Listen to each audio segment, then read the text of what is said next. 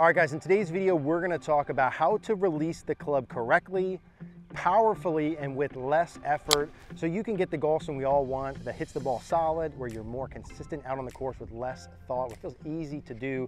And I'm gonna show you how to do that with our new training aid, the straight stick. Let's dive in. All right, guys, when we talk about how to release the club correctly, as I've looked at tens of thousands of golf swings over the past, you know, 15, 16 years, there's one commonality in all great golf swings that we have to have in our swing if we want that easy flowing release, that compression, that consistency day to day. And what that is, and we'll show you this on the screen here, is the ability to have the club fully released by the time the club's about 45 degrees past impact. So all the players that we're gonna show you on the screen all end up looking the same way past impact and that's the timing of this full release being past impact. The higher the handicap, the more inconsistent ball striker that I see every day, that full release would start happening earlier and earlier and earlier and earlier and earlier back here, right? We need to learn how to do it past impact. The first thing is understanding that that's our intention. We're trying to have the club fully released with the arm straight out here past impact. The second thing to note is how do we do that? What are the keys to get there? And there's really two mechanical things that are responsible for that and one little trainer with this compression clicker I'll show you here in a minute. The pieces that are responsible for that are the unloading of the trail arm and wrist. That would be piece number one. And the second piece is the motion of the body, which is the turning and tilting. So piece number one is the unloading of the trail arm and trail wrist. And what I mean by that is when I get down into delivery, we would see golfers, good golfers about here, the trail arm is still bent, the trail wrist is still bent, right? Now I'm going to gradually straighten my right arm and gradually release my right wrist to the point where at impact, my right arm still bent some, my right wrist is still bent some, and they're not fully released until here. I mean, I'm teaching golfers this move every single day, whether it's in person or online, and the solidness of contact is night and day with that one little piece. So we, most of us release those angles too soon, back here, back behind the golf ball. We want to release those angles later out here, okay? And part of that's having the right arm a bit more bent and the right wrist a bit more bent. Now, by using the straight stick and the compression clicker, I believe you could get that for free without having to think about it by just using this, which we'll get to. So the right arm and right wrist is piece number one, responsible for the timing of the release. Early bad, later good. The second thing is the body motions, okay? I can't have the timing of my right arm straightening and my right wrist releasing to about here. I can't possibly do that with poor body motions. Poor body motions would mean two things. Number one, the worst ball striker, most inconsistent, has the least amount of body rotation, so they're facing the golf ball. That's hips, pelvis, rib cage, etc. And they also have the least amount of side bend, which means they're standing up, right? Early extension from the down the line angle, losing their posture. The most inconsistent golfer has the least rotation and they don't maintain their posture. And if I'm getting farther from the ball and not rotating, what do my arms have to do? Straighten early, good or bad? Bad. And vice versa. If I straighten early, what does my body have to do? stall out and stand up, okay? What do the good ball strikers we're gonna show you on the screen look like? Well, not only is the timing of the release later, they have their body turning and they have what? They're tilted, meaning past impact, you can see the pictures, they stay in their spine angle, they're down. And I'm gonna give you some cues for that. But I wanna wrap that all up into something simple, and this is where the straight stick comes in. So if you didn't see the video on Tuesday, I would also recommend checking that out. We have an offer for you with the straight stick that's valid till the 8th here to give you just an unbelievable deal and make it a no-brainer because I believe this is gonna really help you. In fact, I spent a year working on this with our partners at Performance Golf Zone, with the designer Jeff Sheets, with Rocco Mediate to make this to the point where we're standing here today. There's a lot of time and effort has gone into this. And the clicker in particular, the compression clicker, notice when I hit a ball here, the timing of that click, okay? If I can get this clicker to the point where it releases pass impact, I must have done pretty well in those two areas I mentioned.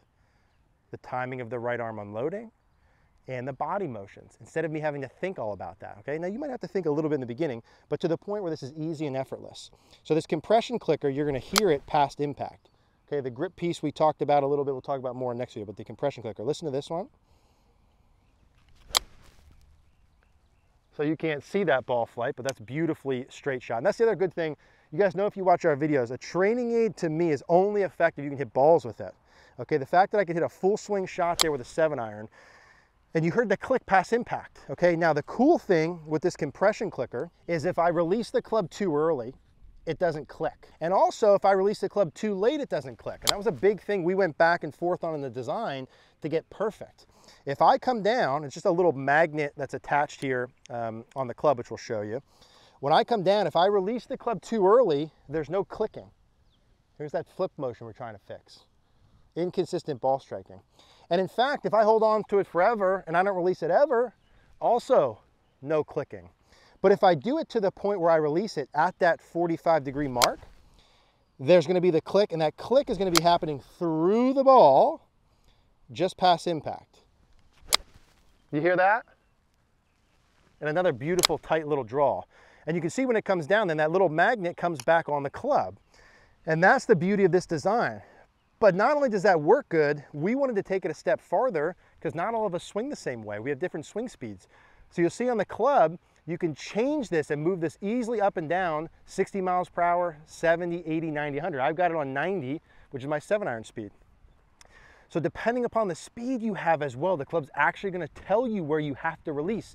So if you've got a little bit of a slower speed, it's gonna allow you to release a little bit sooner, so you have enough loft. If you've got a faster speed, you can release a little bit later.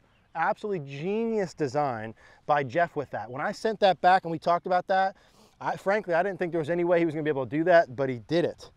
And so not only do I get the timing of it, it's relative to the speed I have. Now, this releasing later thing, right? I've tried a gazillion different training aids and none to me that have really been that effective, right? Like I've tried things, you see things in videos, this little towel drill, right? I had people doing this before where you learn how to whip the towel past impact, get the speed of the club out there, and you might get a general feel, but I can't hit balls with a towel and I don't think it transfers very well as soon as you remove it. I've also had these clubs, you've seen some of these like whippy clubs, right? Clubs that are real bendy and whippy and I've used those myself with players, and sometimes there's a little bit of success with the club, but as soon as you take the club away, it's the same shit. Like it just doesn't work long term. And so I wanted to make sure that this straight stick actually worked, right? And we've tested this with hundreds of golfers at this point for a long enough period of time that I can say confidently that it does. Outside of me hitting these shots right here, this is the first club because it's designed like a normal seven iron.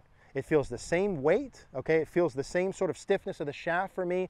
It feels the same way and I can actually hit shots with it. So when I do this and I learn how to get that click pass impact, I can take my club and feel the same thing. Let's do it one more time.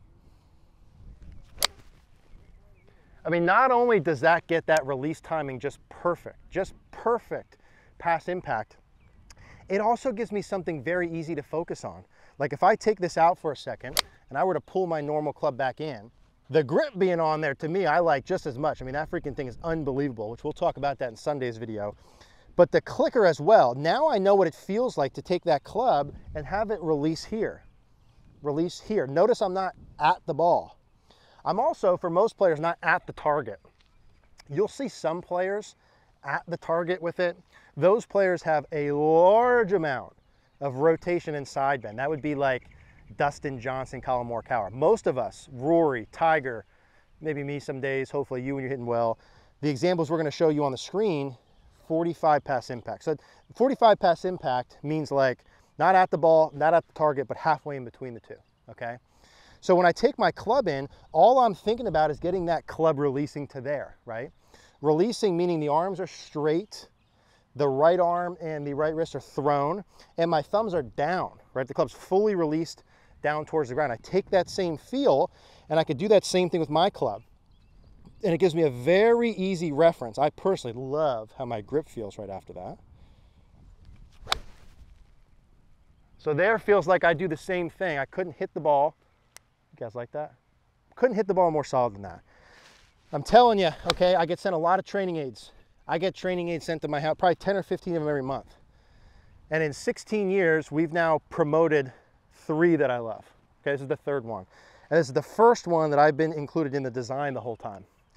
So those three issues that we're fixing, the club face, the club path, and the release timing, aren't by accidents, because this is what I see every single day that you guys need help with. And for a price point that I think is unbelievable in what you get with it, it solves those issues. So if you're someone who does and you want a little bit more detail, right? The only thing I'd add to this, because normally most of us struggle with throwing too early. That means the right arm's too straight too soon. The right wrist is too straight too soon. And I have no rotation as I'm standing up. So I've got bad on both sides. What you do want to feel here to help throw later out to this point Clay Ballard talks about the line of compression, right? The release line right here. I love that term to get that pointed right back at me. When I'm doing that pass impact, if you're someone from this angle, you need to feel like the right arm and right wrist stay a bit more bent, a bit longer, okay? And through impact, in fact, let's just do that first. Your right arm and right wrist are a little bit more bent, a bit longer, but you're still throwing it out there. You're still creating that click past impact. Right arm and right wrist stay a little bit bent, a little bit longer and I'm throwing it past impact. Hopefully you can hear how compressed that golf ball is. And all I'm imagining in my mind, this is what I mean, where it works good after I stop using it. Not like a tower, not like those whippy clubs where it goes away right away. It works just as good when I stop using it. The right arm and right wrist stay bent, okay, a little longer. I feel like I'm throwing and straightening them right here. The body feels, to go along with this, I'm gonna feel like through impact, my right shoulder stays down a little bit, which keeps me from down the line like it looks like I'm keeping my, my spine angle. And I'm gonna feel like my chest is up and at the target. So my shoulders are fully turned. So for me, the feel is straighten the arm and the wrist out here, the right shoulder's down, the chest is up. Straighten the arms past impact, right shoulder down, chest is up.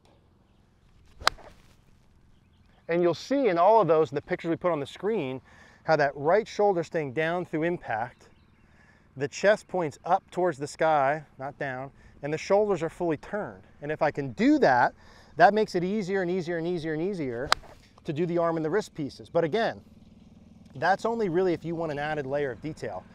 What I would suggest is you get the straight stick and keep it as simple as just release it here, release it here, release it here. So right arm and wrist are a little bit more bent. I feel shoulder down, chest up. Shoulder down, chest up. That gets me the shoulders turning.